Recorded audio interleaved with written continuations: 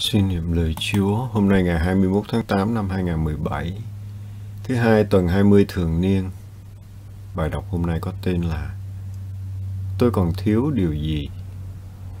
Lời Chúa trong sách Matthew chương 19 câu 16 đến 22 Khi ấy có một người đến thưa Đức Giêsu rằng Thưa Thầy, tôi phải làm gì tốt để được hưởng sự sống đời đời? Đức Giêsu đáp Sao anh hỏi tôi về điều tốt? Chỉ có một đấng tốt lành mà thôi. Nếu anh muốn vào cõi sống, thì hãy giữ các điều răn. Người ấy hỏi, điều răn nào? được Giêsu đáp, ngươi không được trộm cắp, ngươi không được làm chứng gian, ngươi phải thờ kính cha mẹ, và ngươi phải yêu đồng loại như yêu chính mình. Người thanh niên ấy nói, tất cả những điều đó tôi đã tuân giữ tôi còn thiếu điều gì nữa? Đức Giêsu đáp, nếu anh muốn nên hoàn thiện, thì hãy đi bán tài sản của anh và đem cho người nghèo. Anh sẽ được một kho tàng trên trời. Rồi hãy đến theo tôi. Nghe lời đó, người thanh niên buồn rầu bỏ đi, vì anh ta có nhiều của cải. Lời suy niệm Bài tin mừng hôm nay gồm 6 câu đối thoại qua lại giữa Đức Giêsu với một thanh niên giàu có. Hạng anh ấy là một người có thiện trí. Khi anh đến gặp Đức Giêsu để hỏi về chuyện phải làm tốt điều nào để có sự sống đời đời. Như thế sự sống đời đời là điều anh quan tâm và anh thực sự muốn biết cách hành động để đạt đến sự sống ấy. Thầy Giêsu đã cho anh một câu trả lời đơn giản, hãy giữ các điều răn. Thầy đã kể cho anh sáu điều răn, bốn điều cấm làm và hai điều phải làm. Tất cả đều liên quan đến tha nhân. Anh cho biết mình đã sống mọi điều răn đó. Dù vậy, anh vẫn mang trong mình một thao thức Chính thao thức ấy đã đưa anh đến với Thầy Giêsu để hỏi, tôi còn thiếu điều gì?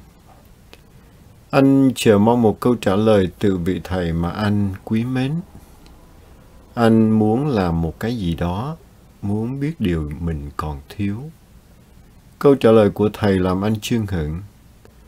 Nếu anh muốn nên hoàn thiện, hãy đi bán tài sản của anh cho người nghèo anh sẽ có một kho tàng trên trời và đến theo tôi.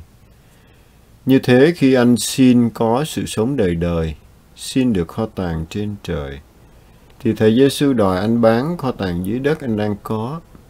Bán xong, hãy tặng cho người nghèo để chẳng mong lấy lại. Thầy mời anh trở nên tay trắng rồi đến và theo Thầy. Nhưng Thầy Giêsu không đòi mọi người phải làm y như anh thanh niên bán hết tài sản và cho người nghèo. Ngài cũng không đòi mọi người phải bỏ vợ con để theo Ngài y như Phêrô. Nhưng Ngài muốn mọi người nên hoàn thiện và có sự sống đời đời. Ngài kêu gọi mọi người làm môn đệ theo Ngài trong hoàn cảnh của mình.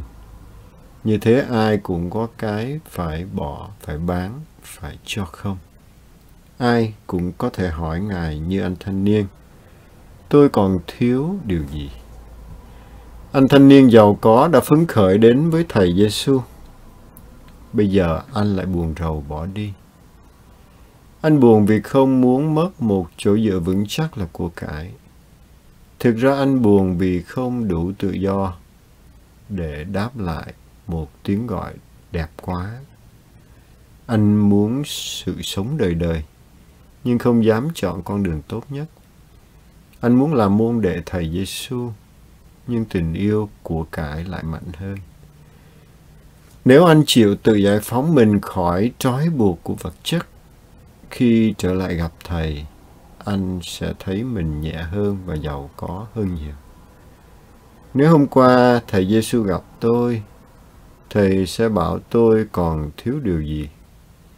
Điều gì đang ràng buộc tôi khiến tôi muốn quay lưng bỏ đi.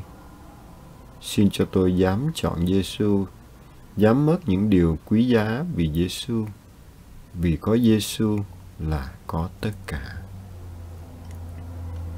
lời suy niệm, lời cầu nguyện.